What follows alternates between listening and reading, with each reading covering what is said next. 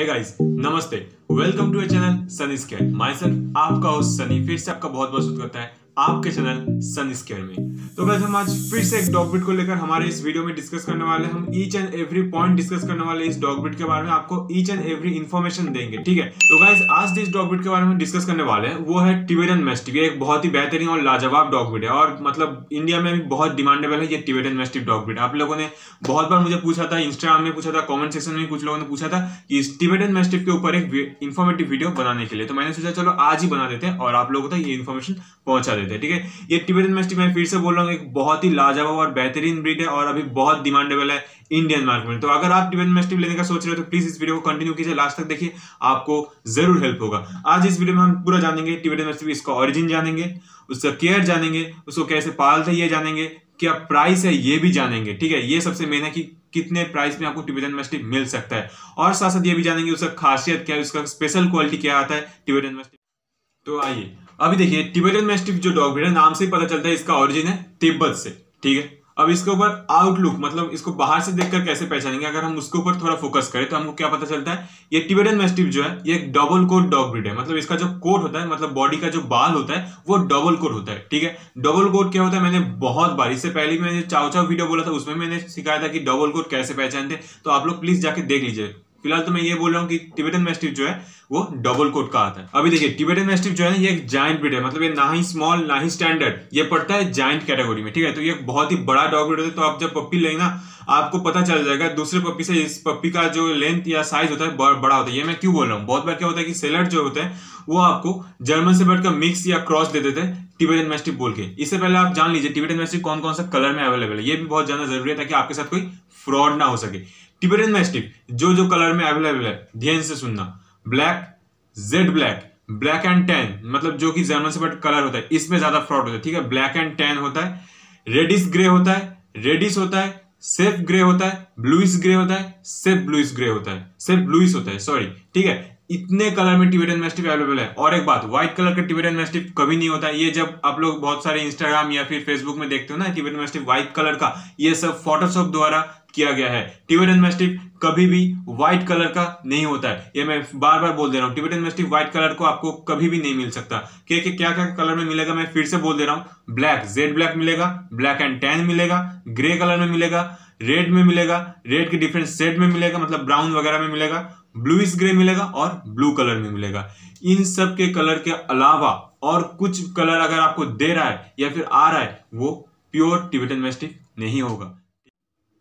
अभी चलिए इनके केयर के ऊपर बात करते हैं, ठीक है? तो जान लेते हैं, ये टिबेटन मेस्टिक जो डॉग आप ले रहे हैं, इनका केयर कैसे करें?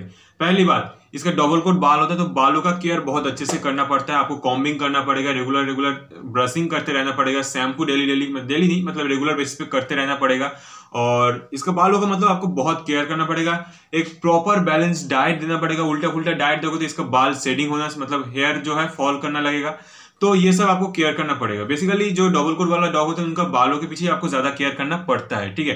अच्छा इसके अलावा मैं एक बात बोलूँगा, जो लोग गर्मी इलाके में रह रहे हो, जहाँ पे बहुत ही गर्मी है टेम्परेचर मॉडरेट भी नहीं है, बहुत ही गर्मी है, उन लोगों को मैं एक ही रिक्वेस्ट करूँगा प्लीज़ आप लोग टिबेटन मेस्टिफ मत रखिएगा, क्योंकि उनको बहुत दिक्कत आता है। क्योंकि देखिए टिबेटन मेस्टिफ ये जो है, तिब्बत से बिलोंग करता है, आपको पता चल रहा है कि ये बहुत ही ठंडी इलाके में रहने वाला डॉग है तो अगर आप उसको इतने गर्म इलाके में रखोगे तो उस बेचारे को चाहे आप जितने भी एसी कूलर लगा ही दो, पर फिर भी उसको नेचुरल एनवायरमेंट में रहने का आदत हो जाता है तो उसको बहुत ही दिक्कत आता है। तो प्लीज़ आप अगर, आप लोग टिबेटन मेस्टिफ रखने का सोच रहे हो और आप एक गर्मी इलाके मतलब गर्मी इलाके में रह रहे हो तो प्लीज़ टिबेटन मेस्टिफ मत रखिएगा, ठीक है?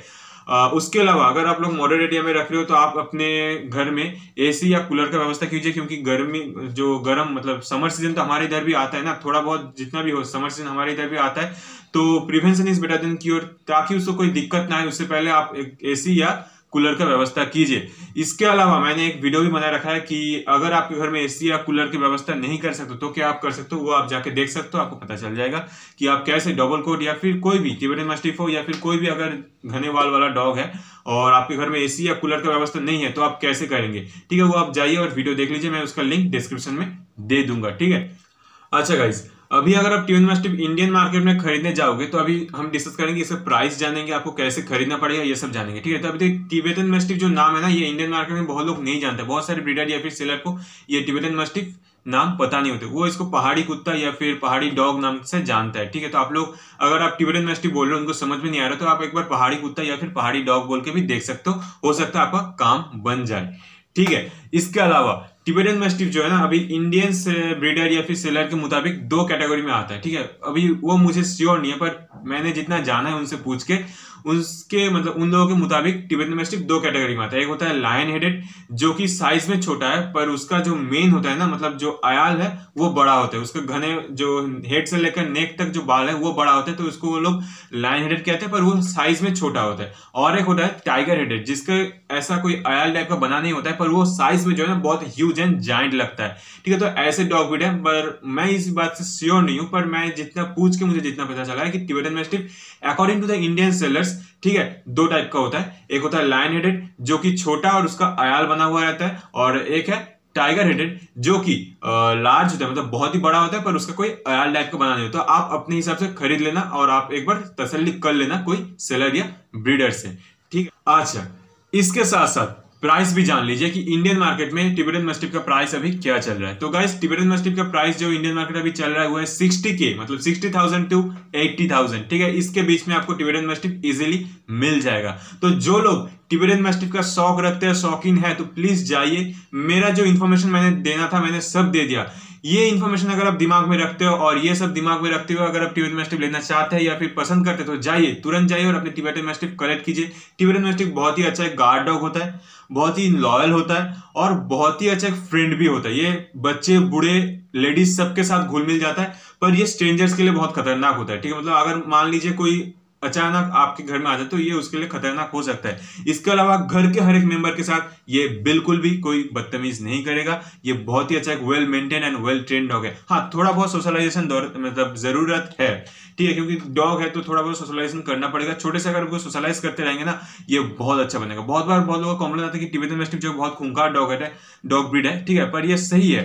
पर उन लोगों का गलती होता है पालन में। ठीक है मतलब उसको छोटे से सोशलाइज करते रहना पड़ेगा या फिर बहुत कुछ करना पड़ता है ट्रेनिंग ठीक है? अगर मैं उसके ऊपर भी एक वीडियो बनाऊँगा, वो भी मेरे एक भाई ने मुझे रिक्वेस्ट करके रखा है कि डॉग ट्रेनिंग के ऊपर एक अलग सा वीडियो बनाइए भैया।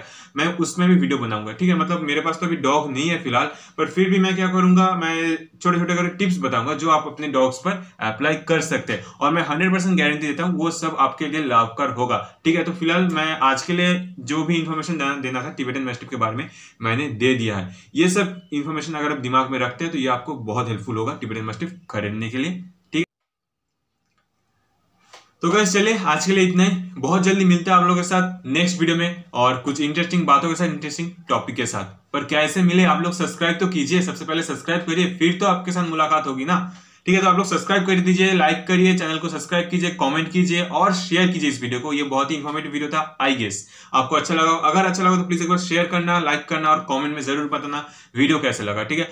और तो चलिए, फ़िलहाल बाय मिलते हैं आप लोगों के साथ नेक्स्ट वीडियो में कुछ ऐसे इंटरेस्टिंग टॉपिक के साथ इंटरेस्टिंग बातों के साथ। Till then bye love you all